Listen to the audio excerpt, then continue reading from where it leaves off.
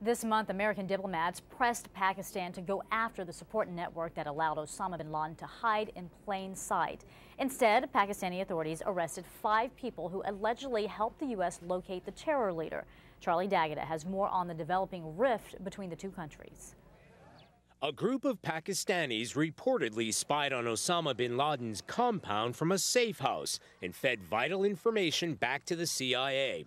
Pakistan's top spy agency arrested five alleged informants who helped lead U.S. Special Forces to the hideout. Navy SEALs killed bin Laden in a raid last month that stunned and embarrassed the Pakistani government. Pakistan denies a report in the New York Times that the arrests include an Army major who U.S. officials say copied the license plate of cars visiting bin Laden's compound. News of the roundup comes during tense times between the CIA and the ISI, Pakistan's intelligence agency. At a Senate briefing last week, the CIA's deputy director rated Pakistan's cooperation with the U.S. on counterterrorism at just 3 out of 10.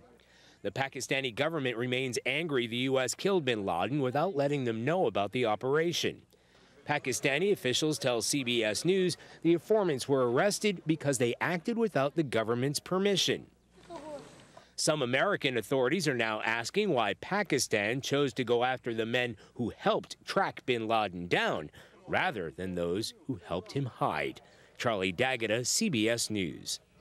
The United States is also accusing Pakistan of delaying entry to CIA officers who are supposed to take part in a joint anti-terror operation. For more, we are joined by CBS News Foreign Affairs analyst Pamela Falk. Thanks for being here with us, Pamela. Absolutely. Ben. So is there any way to save the relationship between the U.S. and Pakistan? Yes, absolutely. And a lot of negotiation has to be done. it, it is at its all-time low. And that is because uh, last week uh, CIA Director Leon Panetta met with his counterpart and was warned very sternly. And obviously with the arrest of these five informants, it's sort of outrageous in a way because these were helpers to the US CIA find Osama bin Laden, which the Pakistanis, as you mentioned, did not do. So uh, with a two million, uh, billion dollar a year relationship, an aid package, uh, it's pretty important that the United States find a way to use that leverage to get some issues, or at least not arresting these informants and interrogating them uh, from the relationship. And that's really, now, some people say uh, that because of nuclear weapons and because of the fact that Pakistan does have terrorists, the United States is boxed, but it shouldn't be that way. There's a lot of pushback from Congress right now. Well, speaking of pushback, some uh, members of Congress want to cut aid to Pakistan. So could that happen, and what would happen should that happen?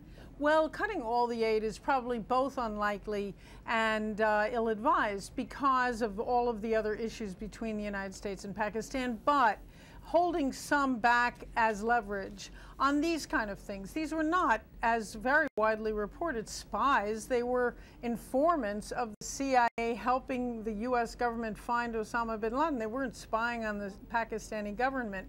And so it's important that the U.S. make clear and also protect these individuals. Let's shift to Libya now because 10 members of Congress are actually suing the president, saying that he went right. around Congress to um, install force, military force against Libya, uh, and they want a judge to suspend that military operation. Is that going to happen? Could that happen? Well, it is going to move forward, but what's happened with these lawsuits in the past is that the the judiciary says this is a political question. And you have to step back a second and look at the fact that there are no declared wars uh, in the United States since World War II. That means that the reason that the War Powers Act was passed in the Nixon administration over his veto in 1973 was in order to try to bring back the balance between Congress and the president in hostilities and war uh, powers. And that is uh, precisely what the War Powers Act is trying to do. You also have to remember it's only 10 members of Congress, but what's really interesting is they're reading the polls. And uh, some of the polls have said, uh, Rasmussen last week, that one out of four Americans, um, only one out of four Americans, are in favor of the Libya action. And you're starting to see basically a lot of anti war sentiment in the Congress, and that involves Afghanistan, Libya. And and I think this case uh, may may be decided the same way previous cases have and been. speaking of this case with Libya, why are we seeing Congress and the president act on this now? Well, they're acting on it now because the 60 days passed in which the president has to report or get congressional support under the act, uh, but it adds 30 days, and that ends Friday. So there is a mm. real deadline, time, crunch, yeah. time pressure for, right. for, for him to respond. And he has given a report, so we'll see how it goes. Okay, well, CBS News Foreign Affairs analyst Pamela Falk, thanks so much for being with us. Absolutely, Thank Betty. You. Good to be here. Sure.